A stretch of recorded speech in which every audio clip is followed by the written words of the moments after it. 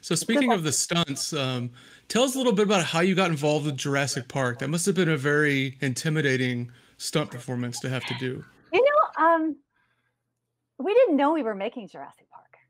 Really? We didn't, we didn't know it was Jurassic Park. You know, it was just it was a movie with dinosaurs, and the dinosaurs we saw were like little, you know. uh, So Gary Hymes, who's our stunt coordinator, um, would he had a he had a cloth bag, and in the bag he had Matchbox cars and little like dinosaur toys. And he would say, "Okay, Pat, you're in the jeep here, and here comes the dinosaur. Here's the act. Boom! It's going to hit the jeep with the, and then you do this thing." And so we go, "Okay, cool." And then then we go and shoot it. We didn't know. It was didn't like charades. But you did know you were working for Steven Spielberg. Steven Spielberg, yeah. that to me that was uh, I was flipping out because he he was in the he was in the camera truck and I'm in the the hero vehicle which means the vehicle being shot right? That's the one that's on camera the hero vehicle. So I'm in that the jeep with the stunt guys driving it. The stunt guy who's playing injured um um in um oh fuck. What's his name? Oh my god I love him Jeff Goldblum. He's being Ah. injured Jeff Goldblum and the other guy's driving and I'm doubling Laura and um, Steven goes, "Okay, Pat." Or he's on the mic, you know, going, "All right, then what we do is here's here's number one." So they had the the T Rex was a, a stick about I don't know 15, 18 feet long. It was metered off black, white, black, white. At the very top was a big disc, a cardboard white disc with a happy face and teeth drawn on it. that was the T Rex.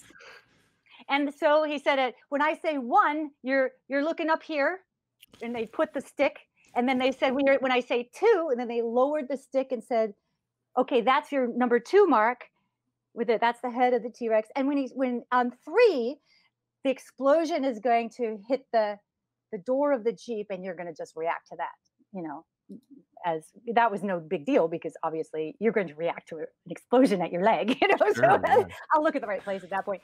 So that's what it was. I mean, we take off and he's shouting, okay, Patty, one, two, you know, at that. And so when we went to the movies and we went to the theater to see it, there was no screening.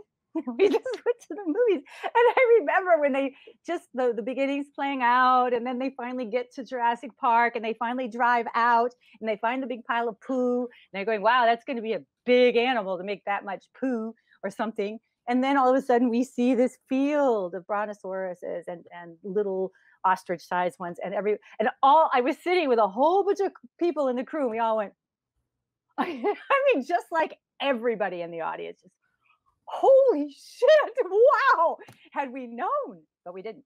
We had no idea. When I was in the rotunda at the end at the end the big culminating scene and the T-Rex comes in and he's going to chomp on all the good guys and then the raptors come down and there's the scaffolding stuff happening. That was a very gnarly day. But that when when we were there rehearsing there were some guys in the raptor suits. So they had you know they had the team with the um, uh, animatronics on some of the raptor heads and these poor dudes were inside those suits which are practically seamless and they had they had some way they could breathe and they had an earpiece in and they would take direction but they were completely blind and their arms are pinned to their sides and the head of the actual uh, raptor is you know three feet above them and the um, the, uh, the there were guys uh, there's wires coming out the bottom of the costume and there's guys with the little remote control just like you do with games. You know they're they're controlling the eyelids and the little movements. And then the um, guy in the suit would listen to his cues and be cued to take a step forward bend down and then the animatronics would bring the head up under the plastic and then start to look around you know so the head's doing all this. It was fascinating but it was it, it was really interesting because the the guys in the suits are just wearing nikes.